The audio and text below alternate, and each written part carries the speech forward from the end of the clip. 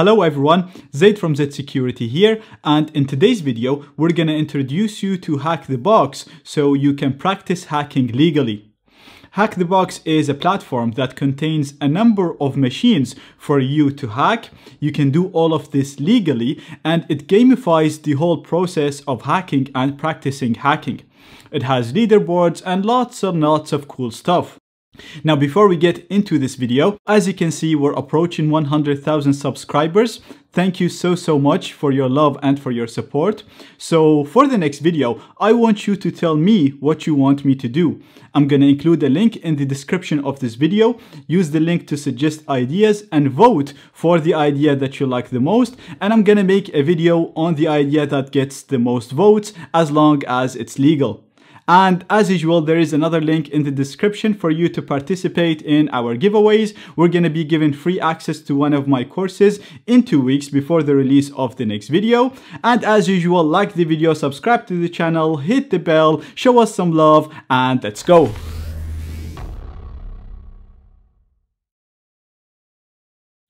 Now, at the start of the video, I said that we will introduce you and not I will introduce you because one of my teaching assistants, Dimitris, is actually going to walk you throughout the whole video and I will be commenting on some stuff just to add my two cents.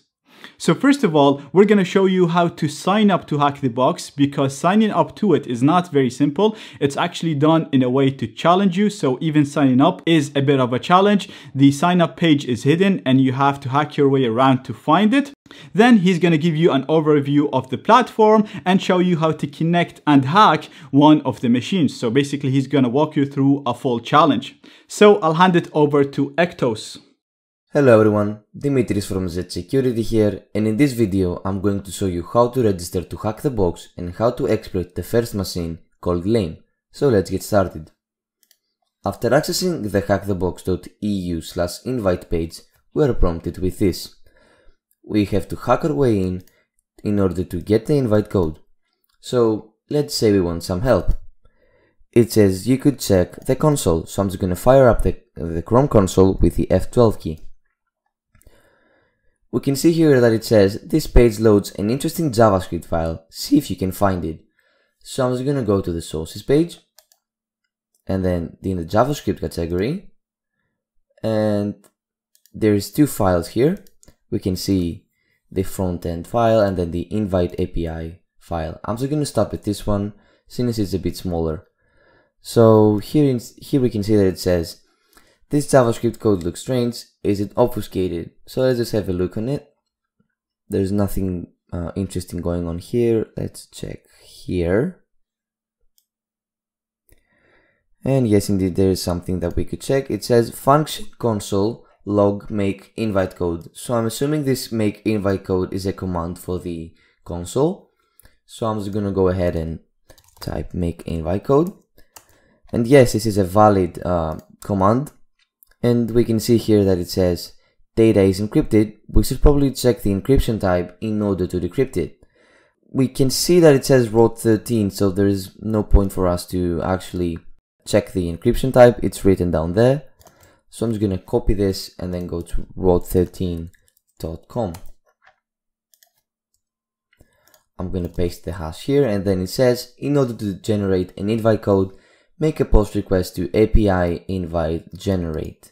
So let's copy this directory and then we can copy the URL, open up a command prompt. You can open it by doing cmd and you can see it right here.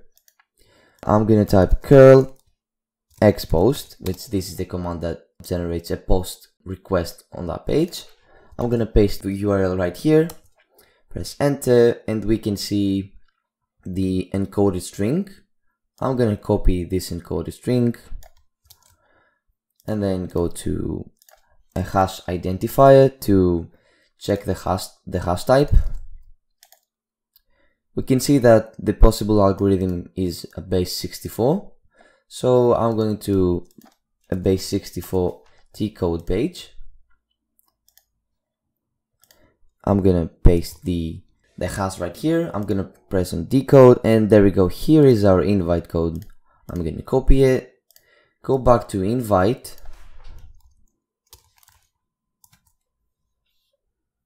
And I'm gonna close the console. I'm gonna paste the uh, invite code and I'm gonna sign up. And there we go. If you followed the instructions correctly, you should be in this page as well. So if you did, congratulations. You can now put your credentials here and then register. Now you can also discover this path by using a tool like Derb as shown in my courses. So all you would have to do is Derb followed by the target website which is hackthebox.eu and it should discover this. Or even simpler, you can even use Google and simply search for Hack the Box registration and you will find it. But that's no fun. What Dimitri showed you is actually much more fun and you would learn something new as you're doing it and feel accomplished. Anyway, let's go back to Dimitri's to get an overview of the platform and see how to connect to a machine, hack it, and solve a challenge. So after you're done with the registration page, you're good to exploit the first machine. So let's just go and do just that. I'm just gonna switch to Kali and I'm gonna access the hack the box page. Well, it seems like I was not logged in. And there we go. I'm logged into my account and this is the dashboard that you will be prompted to after you uh, log in for the first time. So after going to the machines and then uh, clicking on, on all, going to the retired machines, we can see the first machine here. You'll have access to these machines for now because I have the VIP uh, access. I get uh, access to the retired machines as well. So let's just hack this machine. If the machine was not running, we would have to click start here, but it's already running. So I'm going to connect to the VPN before I do anything. Um, so in the access page, you have to download the VPN connection pack that allows you access to the network of the machines. So I have already downloaded it and I have moved it to this directory, which is called hack the box. And I'm going to do open VPN and the name of the file, which is ictus.ovpn. If you see initialization sequence completed, means that you actually connected, and we can check that if you do if config tan 0. Tan 0 is the interface that you should have after connecting to the VPN, and this is our IP inside the network, and that is great. So I'm just going to close this and I have made three tabs in my Kali terminal. The one is going to be called VPN and this one is going to be called nmap because we're just going to run an nmap script. Now to hack this machine, Dimitris is gonna follow a very common strategy that I actually cover in my basic ethical hacking course. First, you try to discover all of the open ports and the services running on the target system, research every single service, and if it's vulnerable, exploit it. So he's going to use nmap to discover the open ports and the services, and he's going to continue with the rest of the steps, and you'll see how he's going to be able to gain full access to this computer. I'm going to run the nmap script live, so I'm going to do nmap dash sv, which probes the open ports, dash a to enable OS detection, and dash on to output the, the results to a file. So I'm just going to call the file lame.txt 1010 10.3 and that's the IP of the machine as we can see here. Let's go back to the machines. You can see that the IP is indeed 10.10.10.3. So now I'm just going to run the nmap scan. Hopefully it doesn't take that long. Great, now that we have the uh, scan result, our next step is to search for vulnerabilities in the discovered services. So we can start with VSFTPD. Uh, it has anonymous FTP uh, login. This essentially allows the users to access the web ser the, the, the server with the username anonymous and with no uh, password. But we have limited access to it, so I doubt this will get us anywhere, so I'm just going to leave it for now. We can see OpenSSH 4.7, which I doubt this is vulnerable, and we have Samba 3.x to 4.x. So this essentially means that this version of Samba could be anything from 3 point something to 4 point something, which is really useful to know. And we can try Samba, and I know that in Metasploit there are many Samba exploits for 3 point something versions, so I'm gonna run MSF console here. and we're gonna search for scripts and exploits on Samba 3.x versions. So it's starting. There we go. So I'm just gonna do search for Samba.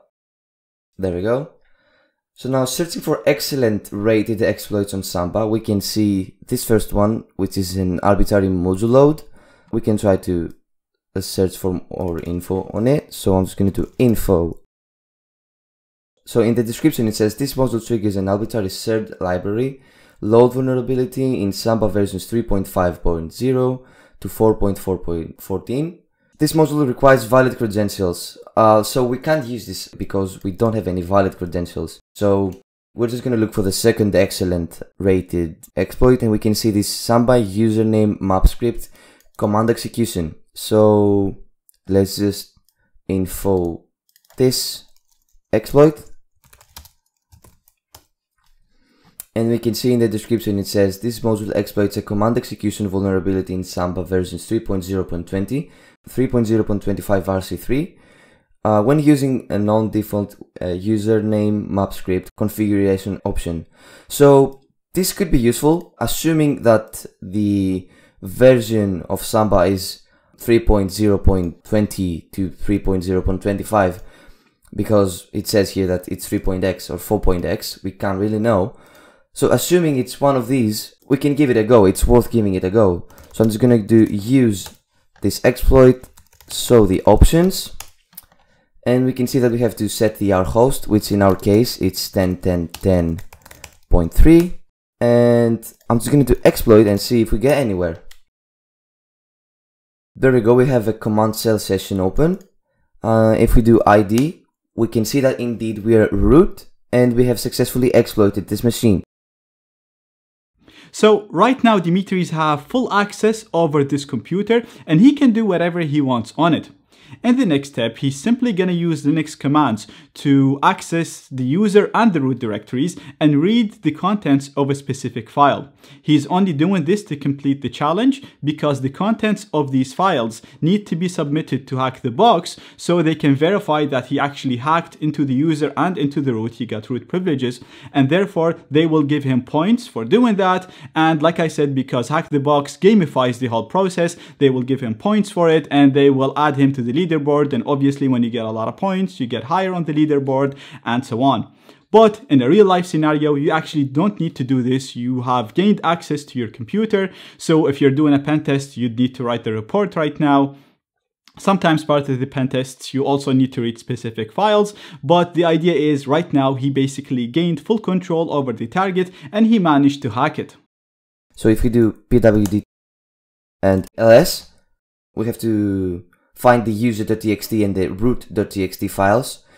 So I'm just gonna do cd home to find the users, cd makis, which is the user here, and ls again, and there we go. Here is the user.txt file. So I'm just gonna do cat user.txt, and there we go. This is the flag, the first flag that we need, and I'm going to put it here to and I'm, I'm, I'm gonna rate it the difficulty to 1. I'm, I'm getting an error because I've already done this machine, but you would not get an error up here. So let's go back here, ls again, and cd to root, as you can see here. ls again, and we can see the root.txt file, so I'm just gonna do root.txt, cat root.txt, and we found the root uh, flag as well, which can be added here the same way we did with the user flag and lame root is already owned. So that's it guys. Thank you very much Dimitris for sharing your knowledge. I hope you like the video and find it useful. Don't forget to use the link in the description to tell me what to do in the next video when we hit 100,000 subscribers. And don't forget to like the video, subscribe to the channel, hit the bell to stay updated with the latest in cybersecurity.